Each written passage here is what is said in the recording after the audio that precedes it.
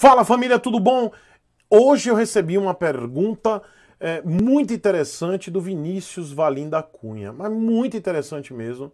Eu acho que vai ser servição agora esse vídeo aqui e, e prestem atenção, prestem atenção, porque isso aqui é muito importante, porque para vocês não, não cometerem a bobagem de comprar esse tipo de, de equipamento que estão vendendo por aí. Então já estou aqui deixando minha opinião logo no início do vídeo. Mas vamos lá. É, Vinícius me mandou aqui, o Vinícius Valim da Cunha me mandou essa pergunta interessantíssima. E vocês são demais, galera. É, vocês mandam cada pergunta assim interessantíssima, vocês enriquecem esse canal. E eu acho que esse vídeo aqui vai ser muito importante para quem estiver pensando em fazer qualquer tipo de adaptação na sua motocicleta. Muita atenção. É, o Vinícius ele coloca aqui assim: Fala Chico, firmeza? Cara, tô comprando uma CBR 250R, mas aqui eu achei mais íntegra, não vem com ABS. Daí pesquisando no YouTube vi um tal de ABS mecânico.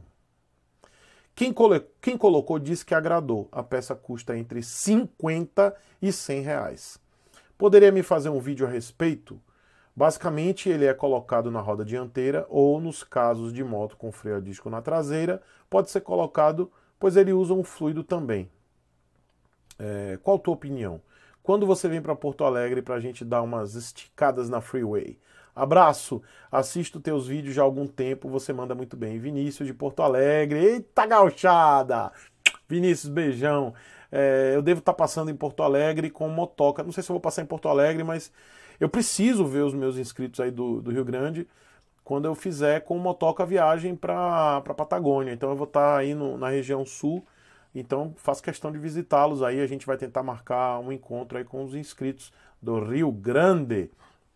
Então vamos lá, Vinícius. Caramba, cara, você quando me falou isso, eu já tinha escutado. É, é, já tinha escutado sobre esse ABS mecânico. Galera, não vá. Como a gente fala aqui em Salvador não vá que é barril. E esse troço aí, não vá que é barril dobrado. Não é que é um problema, não é que vai lhe trazer. Não é isso. Não é o barril dobrado de causar um acidente, não é isso. Mas talvez você, pela confiança, achando que é um ABS mesmo, você vá lá, alicata o freio, achando que o freio não vai travar. E aí sim, isso pode causar um acidente, pode causar um um problema grave. Então, não é ABS, tá? O nome disso é TCB, que em inglês é uma sigla em inglês, né, abreviação em inglês chamado Total Control Brake System. TCB, Total Control Brake System. E aí vamos lá, eu vou ler aqui, vou, lá, vou ler na minha pesca, o que, que zorra é essa? O TCB Brake System, né, que é o Total Control Brake System, é, ele parece, é um sistema, ele é interessante, mas assim, é um sistema bem arcaico. E para resumir, ele usa, uh, pelo que eu vi aqui, ele usa o mesmo sistema de freio convencional, só que ele tem um aerokeep. O aerokeep, ele é uma, um flexível, onde passa o fluido né, do, do, do freio, é, a disco no caso, né? É, ele passa esse, o fluido passa por essa, esse flexível. E o que, que acontece? Quando você coloca o aerokeep, que é, a man, é o flexível com uma manta metálica ao redor, essa manta ela não permite que haja essa dilatação do flexível. Então ele fica mais é, arisco. Então eu tinha na, na bandidona, você tinha que tomar até cuidado. Então quando você coloca aerokeep num freio, você tem que tomar mais cuidado ainda, porque ele acaba sendo um freio muito, é, muito arisco. Freou, ela trava a roda. Então acaba sendo também muito perigoso. Você tem que saber frear com um freio que tem aerokeep. E aí esse Total Control Brake System, ele tem uma válvula de alívio.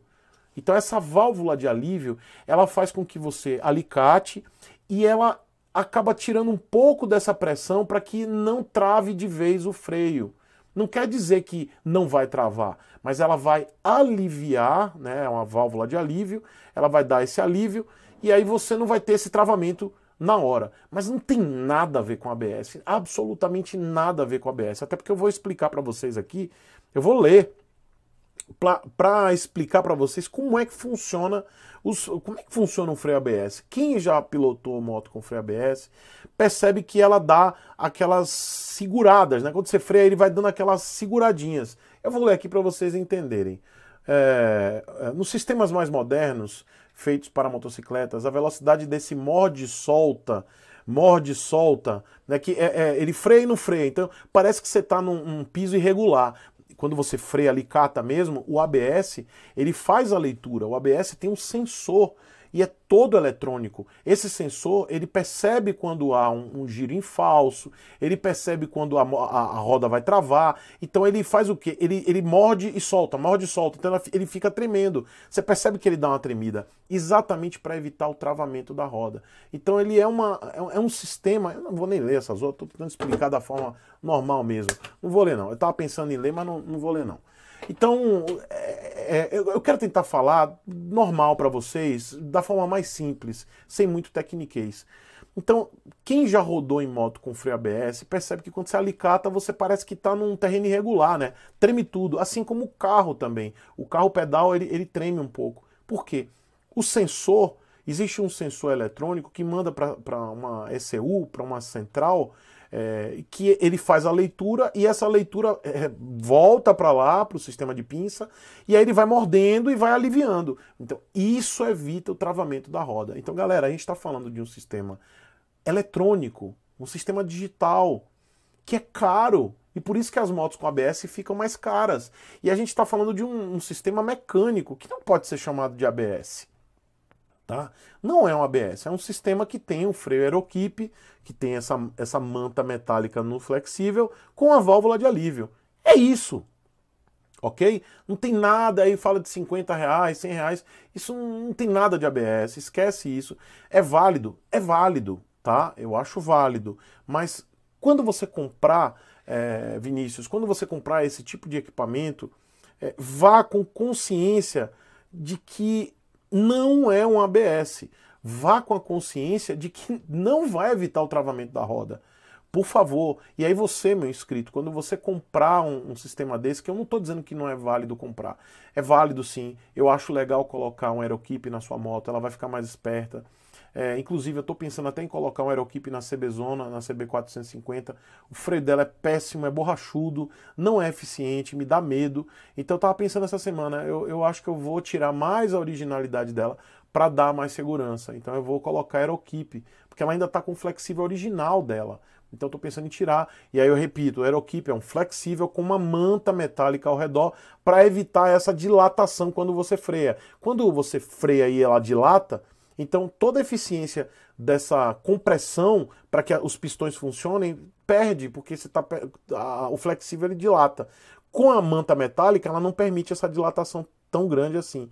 Né? Então, esse sistema que você está falando do ABS mecânico, isso não existe, não é ABS, é simplesmente um, um flexível, né? um conjunto com flexíveis, Aerokeep, é, e uma válvula de, de alívio. Tá? É isso, cara. Então não compra um troço desse pensando, ah, agora eu posso alicatar, pensando, eu posso alicatar com vontade, porque não vai me dar problema, porque eu não vou ter travamento da roda. Por favor, não é isso.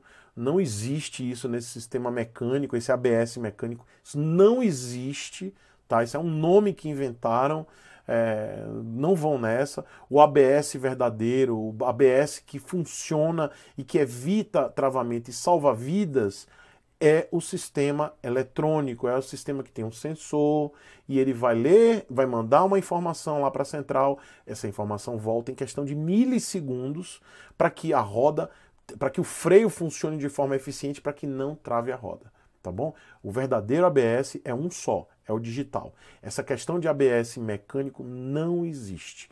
Tá bom, Vinícius? E sim, quero, quero visitá-los aí no sul. Acho que início, janeiro de, de 2020, estarei aí com motoca para tomar um chimarrão aí com os meus queridos inscritos do Rio Grande. Mas e você? Você pensava também que você sabia desse sistema ABS mecânico? Você concorda comigo, meu inscrito?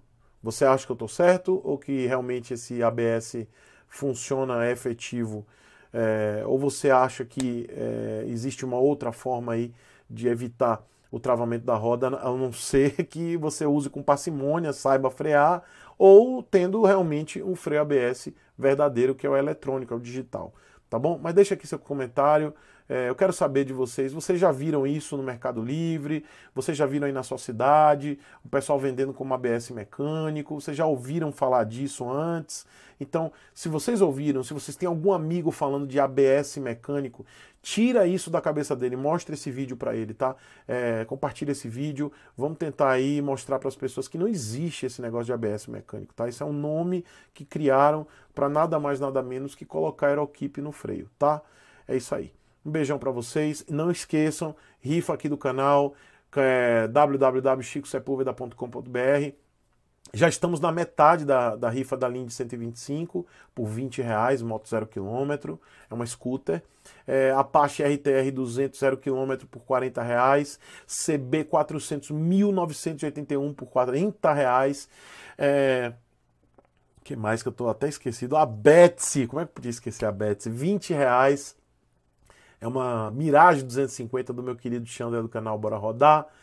É, por 20 reais. Kit Motovlog com capacete, luva, jaqueta e câmera SJ Can SJ7000 por 10 reais. Tá bom? Participem das rifas, valores acessíveis. O site é totalmente automatizado, só chegar lá, se cadastrar, pagar pelo PagSeguro e é isso aí. Um beijo para vocês, até amanhã. Valeu.